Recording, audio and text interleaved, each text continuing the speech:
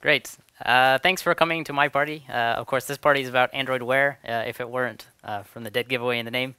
Um, my name is Paul Lammertsma. I am CTO at a small company here uh, nearby in Utrecht, uh, where we do apps, apps and embedded systems, that sort of thing. Um, also mentioned by Mike Lee in the beginning, there's also a Android user group here. I'm one of the co-organizers together with Hugo Visser and Dennis Kurtz sitting here in the front. Yay. Android user group represent. so, um, yeah. So uh, if you want to check out um, our stand, we're upstairs in the uh, community lab. Uh, drop by, ask us any questions. We also have some Android Wear devices for you to play with, so uh, feel free to take a look. So, Android Wear. Uh, who here has an Android Wear device? I see all sorts of wrists going up in the air. That's great. So they're about like five, six, maybe or something like that. Who here knows about Android Wear devices? A whole lot more. Cool. So these three devices here are the originals. These were launched exactly a year ago, um, or announced exactly a year ago, and they launched with Google I/O 2014. Uh, it's a Samsung on the left, uh, the LG G Watch, Motorola uh, Moto 360, which a uh, which which featured the uh, very novel round watch face, which we hadn't seen in any smartwatches uh, before. Um, and this was last year, so where are we now? Uh, we have loads more. Um, actually, this one right here uh, is a new one, was launched at Mobile World Congress. It's a, a Huawei one. So uh, pretty exciting, lots of new and actually pretty decently looking watches nowadays, so that looks quite nice. I'm, I'm, I'm actually happy to see that it's not looking as much as a gadgety thing, but more of a fashion thing, so it's pretty cool. So let me just show you really briefly what it's like to use it from a user experience. Um, here I've recorded my own wrist uh, to show you kind of how it comes alive. So it's a, a typical, um, you just rotate it, the watch face comes alive, and uh, it begins to, uh, to respond to user input and whatever. It, normally it'll be in an ambient state. Like if you're looking at it on my wrist right now, it is in a low power state, it's ambient mode. Not all devices support this, some of them just show a black screen or something like that. Um, when you tap on it or when you uh, uh, when you rotate your wrist, it'll come alive, the watch face will illuminate, and if you have any sort of notifications or anything to be displayed, it will show a, a card, something like this. So here we're looking at a uh, card from, Andro uh, from Google Fit, and there's another one from Weather, and that's the only two cards I have on my watch face at the moment. So there's a two, and you can also pull it down to make it go away. So let's take a closer look at one of those one of those cards. Um, what happens if you interact with a card is you can swipe it to the to, uh, swipe it to the left, and you'll see more pages of information. So so Google Fit is telling me that I got a whopping 40 24 minutes of exercise today, uh, which is actually quite a bit. It's actually the two minutes of running to the bus that really. Uh, really made it happen for me today. Um, it shows you a little bit more information of how that 26 minutes actually adds up, and you can keep on swiping. Here you'll see another page um, showing how far I am to my extremely ambitious goal of one hour of movement. Most of that is, by the way, walking up and down to the coffee machine. Um, and if you keep on swiping, you'll eventually reach um, actions. And these are actually actions very similar to the way that you interact with notifications on your phone. Uh, for instance, going to your history, um, so your Google Fit history, showing your heart rate, or two actions here are especially reserved ones. This one is to open Android, uh, open Google Fit on your phone, or to block the app from showing any notifications on your watch face if you're not really into that kind of thing. So let's take a look at actually opening one of those uh, one of those actions. So I'll swipe back to the history and I'll tap on that. And this is actually where an Android Wear app opens. So we're now actually looking at an Android Wear app. Uh, it's showing me the history of my non-activity for the past few days. Oh, yesterday actually zero minutes. That's great. Okay. And you can actually swipe here. There are multiple pages. Uh, you can do a heart rate um, uh, measurement. Uh, again, an option to open on the phone.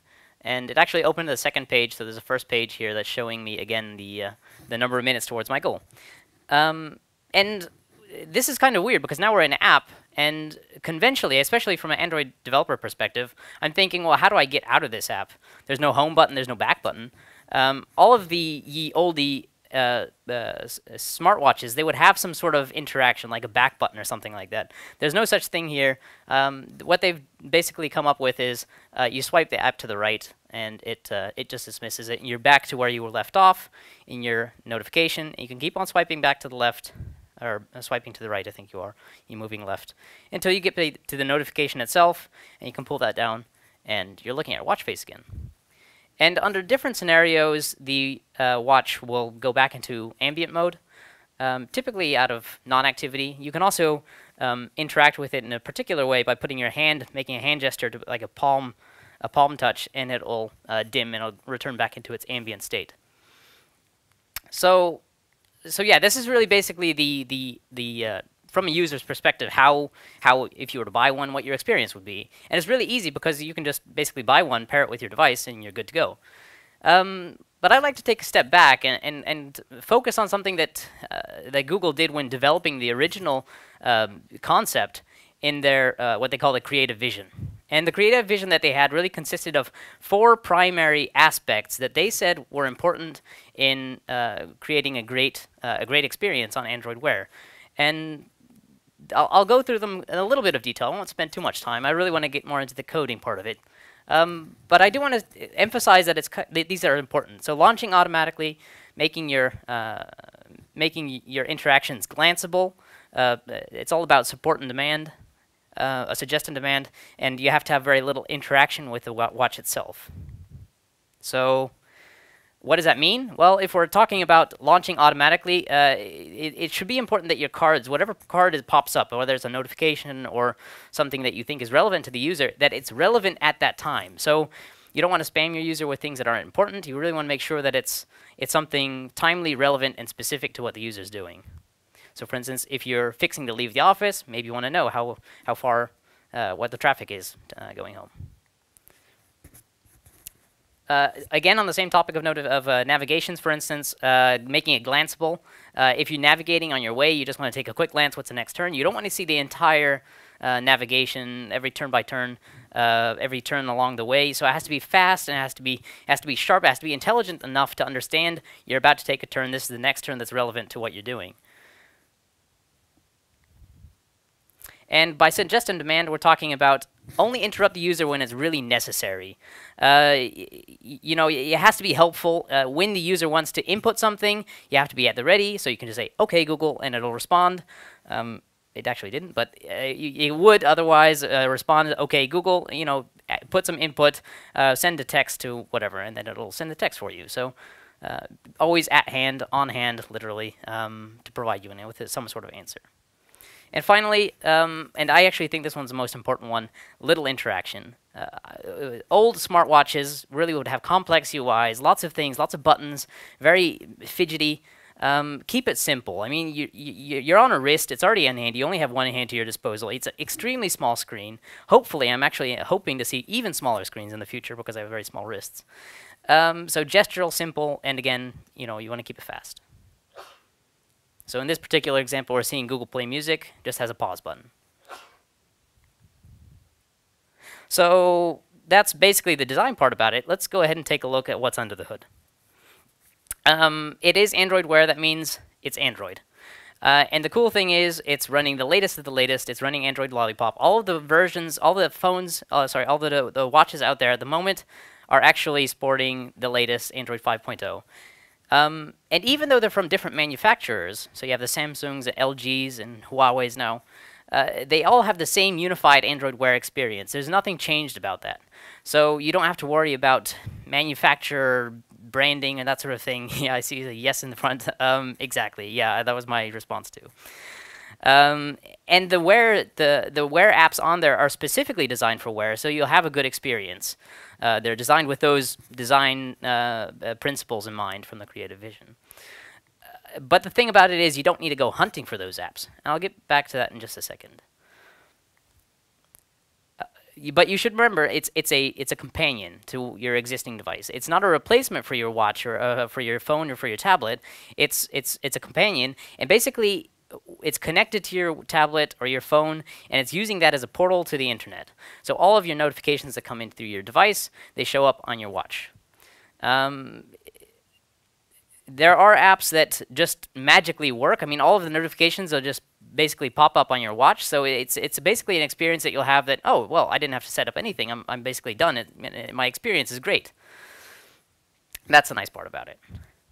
So I really consider the, the, the party about Wear is not all of this stuff, all of this design and all of the user experience stuff. For me, it's really the technical stuff. So I'm going to stop with the pretty pictures and all that. And we're, we're actually going to take a look at making watch faces, showing notifications, and actually making these, these Wear apps. So let's start off with like actually making some watch faces.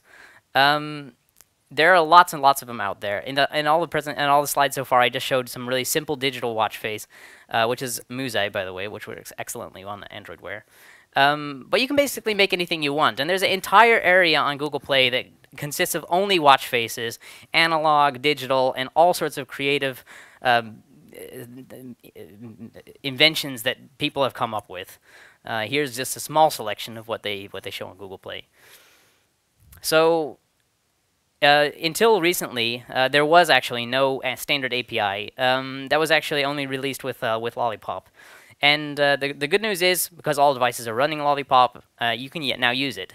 And it's basically a, OpenGL-backed service, which you can draw onto a canvas. And if you're familiar with canvases, that means that basically the world is open to you. You can draw whatever you like, whatever you please, in whichever way you want.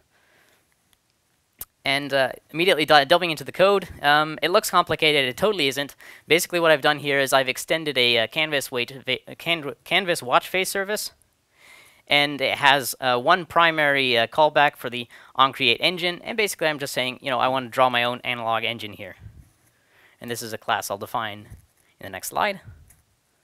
So I'm basically providing a implementation of my watch face. So this engine then provides a number of different callbacks. So um, it, of course, it's relevant, you know, to know when your watch face is opened up, if the user has selected your watch face, so you get an initialization step, which is, of course, an onCreate. Um, obtaining device properties. Some devices, uh, such as this one, have a, a, special low-bit ambient mode. That that is because it has an OLED screen. You can make a, you can make special use to only show um, pixels in a in primary colors and low-bit colors. It uses less power. So it's good to know these kinds of things because then you can draw your watch face in a very power efficient way. And power is really important when it comes to these things because this one lasts about a day and a half. So it's, it's another device you're going to have to recharge basically every night for the time being. So an another callback you'll get is when that time actually changes. That means every tick, every second of the clock. It also means when your time zone has changed. It may also mean that your time on your device, on your host device, so your uh, your your phone or whatever, has synchronized. Um, entering and uh, exiting this ambient mode that I've been talking about. Um, the visibility changes, for instance, if you brought up a card in front, if you're interacting with another Wear app. Um, but most importantly, of course, actually doing the drawing of your watch face. And that looks something like this. So here I have my, uh, my Canvas watch face service dot engine, and uh, I've extended that um, and the, the, the, the, the really important, I think, the, the basically where all of your logic is going to go is in the onDraw. Um, like I said, you have a canvas, you have the boundaries of your watch, watch face, and uh, draw away. I mean, you have a canvas to your disposal. You can draw, for instance, you can draw ticks, uh, rotating the canvas, drawing all the ticks of the, uh, of the minutes, um, and draw a hour and a minute hand on there. You can do as you please. So this part is really your creative freedom, um, and there's a fantastic API for that. So moving on, uh, let's talk about notifications. Um, I showed in the intro, I showed a, uh, a, a, an illustration of the Android, uh, uh, the Google Fit uh, notification here. Um, the really neat thing is actually that um, all of these notifications that use Notification Compat, and you should be using Notification Compat, of course, to be able to use, for instance, actions and big text and big picture in uh, Jelly Bean and later. Um, it basically just works out of the box. There's nothing really need to do to make it make it work on Android Wear. Uh, if you have an app that uses this notification compat, you'll see the notification on your watch, with a few caveats. Um, these two in the, on the left, I'll get back to. But let's just take a look at the very far, far left one. So basically, in your stream of cards, your title, description, and icon would all automatically show. And any actions that you have also provided into your notification compat will also show to the right of that. So you can you can open the card, you can scroll horizontally, and you can get to your actions.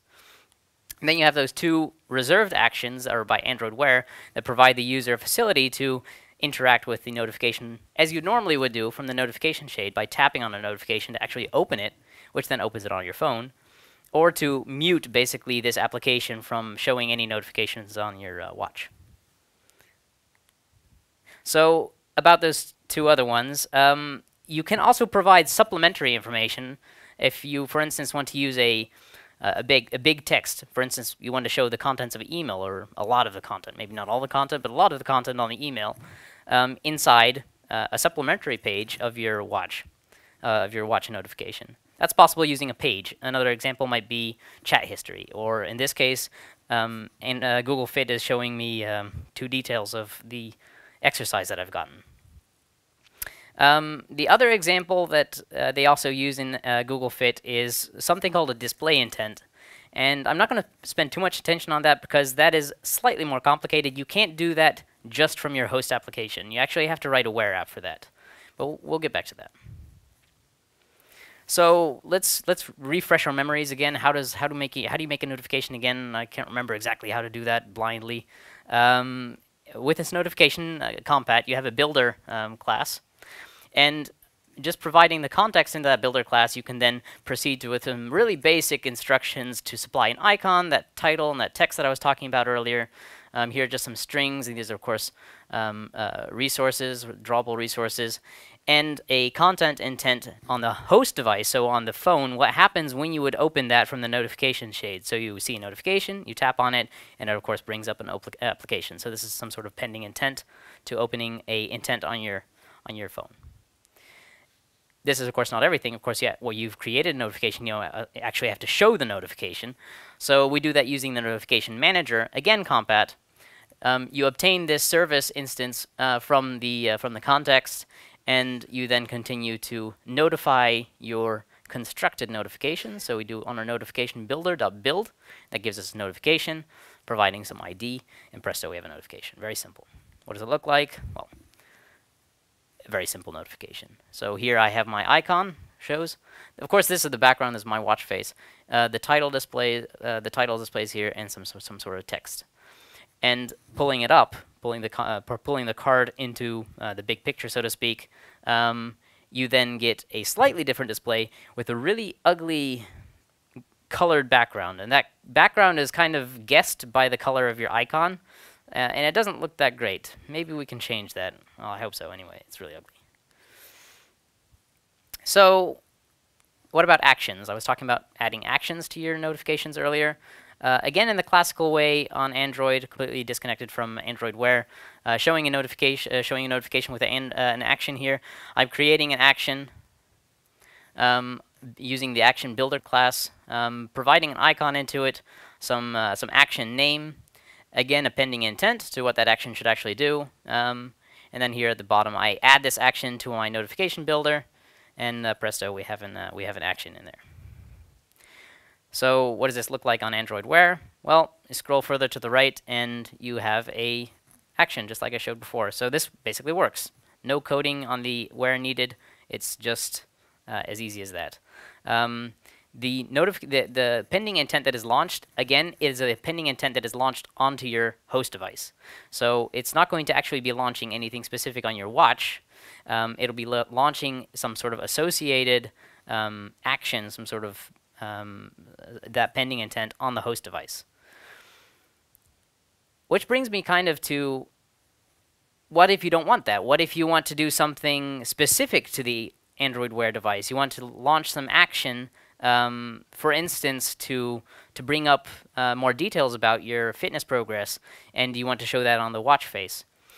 Um, well, that's possible. Uh, then you can create a, a, special kind of notification that's just for wearables. And this is where we introduce a, a special object here that we call the wearable extender. It's in the uh, support package. Um, basically just creating a new wearable extender, providing that action that I was using earlier, just as a simple example, into the wearable extender. And back on our notification builder, we simply say, hey, extend using the wearable extender. And now that action will no longer show up on your host device, but it'll only show up on Android Wear. About that background, we had a really ugly background. Um, let's see if we can change that. Using this wearable extender, we can say um, that we want a different background, and obtaining this background is a bitmap. And if you want to obtain it from a drawable, well, I've just used the basic, the simple logic here to decode a resource. Um, not using any sort of bitmap disposing there, but uh, just give you the general impression of how that's done. Um, uh, this basically shows you uh, shows you this. So as soon as your card is uh, brought up into focus, the uh, the background appears behind it, and it, kind of uh, does a parallax effect as you scroll through the different actions behind it. So it's not pixel perfect onto the display, um, but it kind of moves along with the as you're ho scrolling horizontally through through the actions and different pages, for instance, of your notification. So Another cool thing that you might want to do to enrich your notification is, for instance, um, to add voice reply. Now, when I'm talking about voice reply, um, I'd like to use an example, something along the lines of, for instance, composing an email.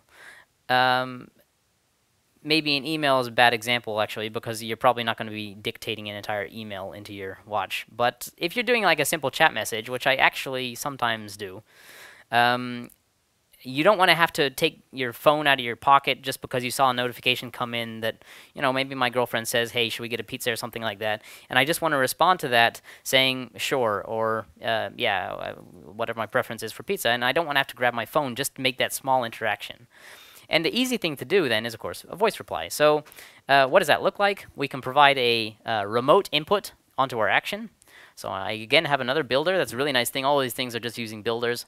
Uh, provide that into our action with some sort of extra that'll come back into our um, application. Setting a label of what it should what it should instruct the user um, to do as as voice input. So in this case, that would be uh, dictating some sort of reply. Optionally, I can even set some preset choices. So if he's uh, if he's not in the opportune moment to actually uh, speak into his phone, he can make a selection through a list. Um, yeah, build that and add that into our, um, uh, add that, once again, this action into our uh, uh, wearable extender. And um, we can read this out then from the application side simply by getting the, uh, the result from our intent, from the remote input. This is again from the support uh, library. And if that result then contains the reply text, awesome. Then we can just show this as a message um, in the uh, in the chat. And the nifty thing about this approach, actually, these these these few lines of code right here, is that my application that that this activity where I would normally be doing a, a message composition, I don't have to change anything about that. I can just add this to the top of my onCreate or something like that, and um, it automatically it would automatically, for instance, if I were to pick up this message, um, it would fill that in as the preset message and maybe send it. So it would look like something like this. Here's my action again, the reply button. You tap on that, and it asks you, you know, uh, what do you want to do? Send a reply. So you can just start talking, um, or you can scroll. This is a one of the, one of the choices that I filled in, and if you scroll to that one and you select it, then it um, it informs you basically that it's sending. It has a, a, little indicator here that it's in the process of sending, um, so that you can still say, "Oh, wait, that's not what I meant at all." Um, so yeah. So another way to enrich a notification for Wear is a page. Uh, that's what I was talking about, maybe showing some some chat history or something like that, um, or or contents of email or um, some sort of calendar event. Um, this is really adding that supplement information that you have a bit more. Actually, it's kind of interesting because you have more space on Wear than you have in the notification shade on Android.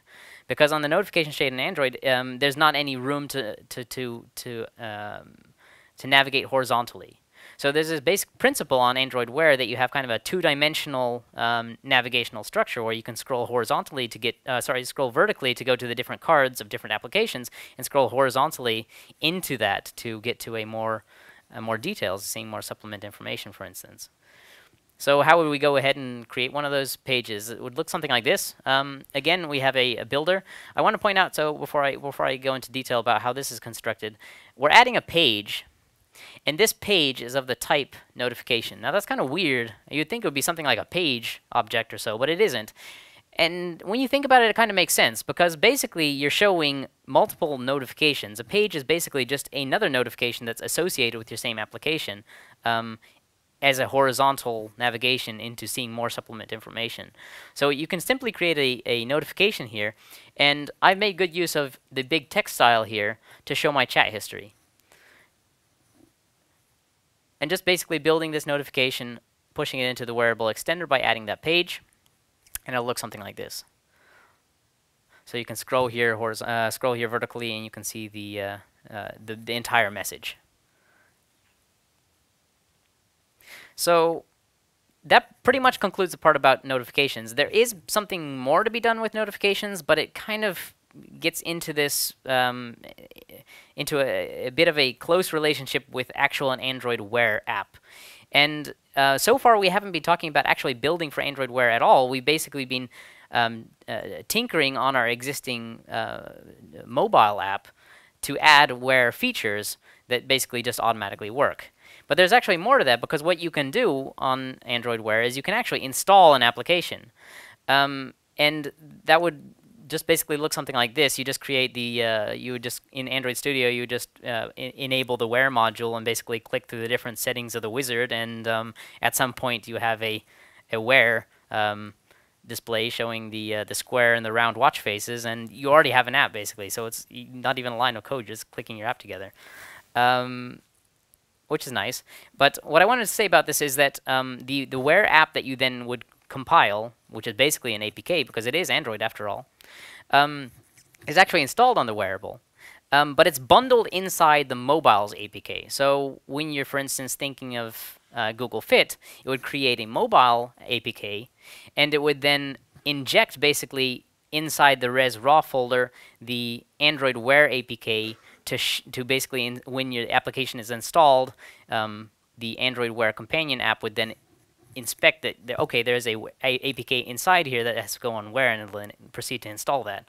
So you don't have to take any special steps in getting it installed. You the user, as from his experience, would simply install your app and it would appear as pure magic onto his watch face some amount of time later. Because, of course, it has to transmit binary data over Bluetooth, which, as Hugo probably knows everything about, is not extremely fast.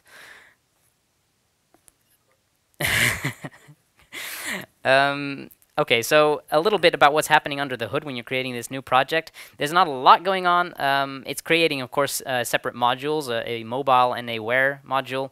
Um, but what it is doing is two important things. In your mobile's build.gradle, it's adding a special line saying, hey, there's a wear app in my project, and it's located there, which is very important because otherwise it won't work in your Wear's manifest, you also have to add a special uses feature that it's a uh, watch, uh, that is using the feature watch. And uh, one step that's easy to overlook that's not extremely well doc documented is this. The only way to actually package your application that it includes the Wear APK as well is by setting them both onto release mode. At least I haven't found any other way, so if you do know a way, I'd be very keen on hearing that. So um, there are a few other caveats about exactly under which preconditions a Wear app is um, accepted. You, for instance, cannot just throw in all sorts of permissions inside your Wear app that are not also registered in your mobile's app. So basically, the mobile app's permissions have to mirror those of the Wear app. Of course, there's a security mechanism. Um, that is uh, that's the the underlying justification. So this is kind of a little bit vague, so just to kind of get something more of a concrete picture of what I'm talking about when I'm talking about Wear apps. I'm talking about actually apps on your Wear device that give you something more than just interacting with notifications.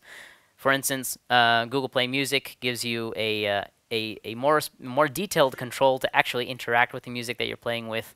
Uh, for instance, in this case, I believe you can also swipe to the left and you can get a, uh, a selection of other tracks that are in your playlist.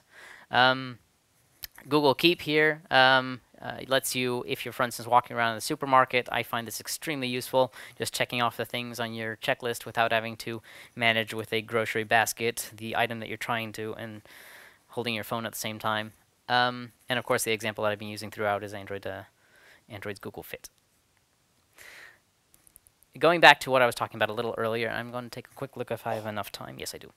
Display intents. So how do we show one of these more detailed um, notifications.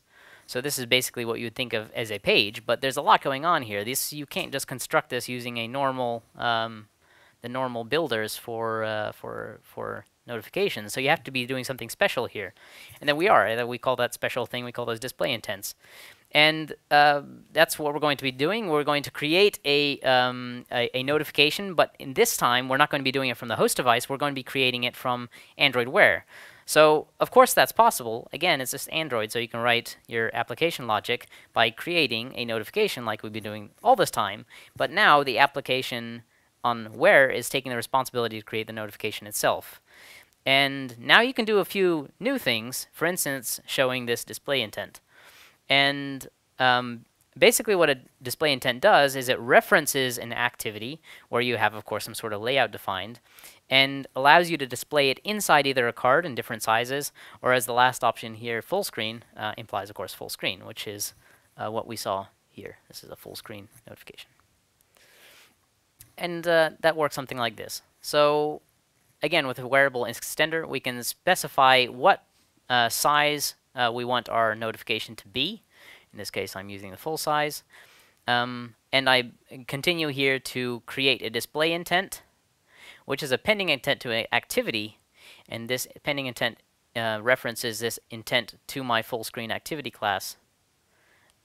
And um, one big caveat here is a uh, is how you define that activity. So I was mentioning the full screen activity. Um, make sure that is it exported, that it is uh, that allows to be embedded, and that has no task affinity. Um, that's a little bit of a uh, a bit of a, uh, a, a, a, sneaky sneaky bug there that it was uh, in my application. I didn't find exactly why it wasn't displaying my display intent the way I expected it to. This was the cause of that. So so we talked about all sorts of different things. We talked about Wear watch faces, notifications, actual, you know, full-scale uh, wear apps. There's also other things you can do. This is a funny one right here. You actually run Windows 95 on it. I'm not kidding. It actually works. You hear, the, you see the guy. Uh, of course, I don't intend for you to do that. Um, uh, what I do want to talk about uh, briefly is how you can go ahead and debug your device. As a developer, debugging is um, imperative to the process, right? Um, it is a little bit different and it's a little bit uh, tricky. Um, if you have a watch like this one, and this watch actually has on the back, it has some pins that I can attach a USB connector to, which is also how it charges, incidentally. Um, if I attach this to my computer, then basically it's direct, di directly connected via USB. and that means that also ADB works. So if I enable ADB debugging on my watch, um, uh, I'm essentially good to go, except that I still have to uh, approve my RSA signature, which interestingly enough does not display on the watch, doesn't display on my computer, but it displays on your phone. So you get a, um, here's the hint that it's from your, uh, from your watch. Similarly, if you have a device such as the uh, Moto 360 that doesn't have any sort of uh, physical connector to, uh, to USB, uh, you can do debugging over um, Bluetooth and I'm not going to read out these ADB commands, but basically you're forwarding the Bluetooth connection onto your local machine. And you get it very simply. You get the same RSA pop-up and uh, you're good to go. I just want to mention a few tips um, in closing. Um, some Sometimes what I do is I'm exchanging data, for instance, between my host device and my wearer device. And I want to, for instance, uh, exchange data using a bundle or something of the sorts so I have a, um, a constant, and that constant is defined separately in each in each module, which is not really the best approach because if you do some sort of refactoring, then you know of course something's going to change and your app will break. And so the easy way to avoid that is really um, using some sort of shared module, and uh, that's that's basically what I've done. I just created a constants class with some uh, some some constants in there. Um, there's one other thing, uh, taking special consideration for round devices, uh, especially if you're like me and you only have one device and it's a square device, then everything seems to perfectly fit, uh, which is really nice uh, and it looks beautiful. And then you get feedback from people with Moto 360s or uh, other round devices such as the LG G Watch R, uh, saying, hey, there are areas that I can't reach. Um, so yeah, definitely take into consideration. You can run an emulator running a round watch face, um, and you should definitely test that. Another thing to take special consideration is almost round devices. the Moto 360 has something that they like to call the flat tire. um, there's a little bit missing in the bottom. It's not usually a problem, but in the space, in, this, in the case of making a watch face, um, it does have a restricted boundary. So drawing onto your canvas, your your boundaries of your um, of the, the of where you're drawing in your on draw is actually not square all of a sudden. That's really interesting. Um, a few gotchas. There are plenty of gotchas. How many times I've been trying to run an app and it just wouldn't watch, it just does not appear on my watch is um, uh, more often than I'd like to admit. Um, there are several cases in which your app just won't install on your uh, Wear device. That is, um, uh, if your wearable module isn't correctly um, declared in the handheld app. So again, about this, uh, build.gradle, make sure that's properly declared. Um, make sure that both applications have the same package and version numbers. It sounds super obvious, but sometimes you just want to bump the version of your um, mobile app. And uh, Android Wear is like, oh, hey, nothing changed on the uh, watch face on the on, the, on Android Wear, so I won't uh, upload a new version there. So make sure that those are always in line with each other. And uh, make sure that, what I was talking about earlier, make sure that your permissions on your watch are, uh, are included inside your mobile's permissions. So for instance, if you want to vibrate on your watch, of course you need the vibrate permission. Make sure that you also include that permission in your, um, in your mo mobile manifest, even if your mobile doesn't actually make use of uh, vibrate, because again, otherwise it won't install. Uh, that makes, of course, sense because otherwise there's no there's no mechanism on the device to uh, agree to the permissions. So if the permission isn't declared in the host app, then there's no way to know that the user agrees with the vibrating app. Not that he can disagree because either he installs it or he doesn't, right? And again, uh, that uh, reminder about uh, using the, the release version, otherwise it's not packaged. Uh, a few more. Um, there's a, there's a, there are some build processes, uh, continuous integration tools that do asset compression on everything in your res directory. Makes sense, for instance, if you're trying to save shave off a little uh, few bytes on your PNG files. Um, but make sure it's not doing anything on the res raw um, because uh, it could actually corrupt your APK, uh, your aware APK in there. And it doesn't make any sense anyway. It's already compressed. It's already zip. So uh, don't bother. Just leave it be. It's called raw anyway, so you shouldn't be doing anything about it. Um, if you have any other sort of installation problems, Google recommends taking a look at the package update service tag. I can't say that I ever saw anything in there, but um, it's, uh, it's a poorly documented uh, message from Google. So um, finally, just a few mentions of uh, some useful things. Uh, there's a great training article on uh, getting your app ready for Android Wear and your first steps towards actually making a Wear app.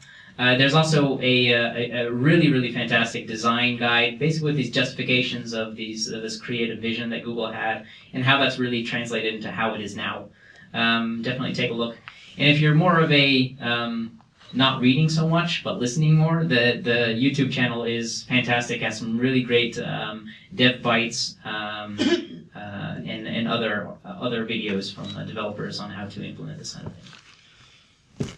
One last thing before I finish, um, added value. Uh, the Google Play Store has two distinct categories for uh, apps that uh, that do something with wear. Of course, watch faces being one. Uh, it makes it easy for users to find new watch faces. Of course, there's you know demand for that. If you have a watch, you want to have something pretty showing on your watch face. Uh, but also apps that have special um, uh, wear integration, notifications, um, maybe more. A great example of that is the uh, Duolingo app. Uh, Duolingo is a app. I'm not sure if you know it. It's a website and an app to learn languages, and they have a really great integration for Wear that shows you flashcards. So if you're just walking down the street, maybe walking, waiting at the bus stop or something like that, you can do a few quick flashcards and polish up your, uh, refresh your memory uh, uh, on Portuguese, for instance. That pretty much wraps it up. Thanks.